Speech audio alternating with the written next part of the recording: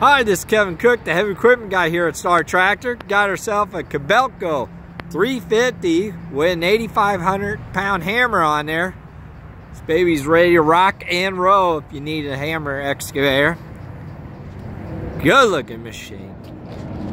Got to go through the shop, get cleaned up before it goes out on the next rental. If you're looking to rent or buy any heavy equipment, give me a call at 817 733 3799. Thank you and God bless.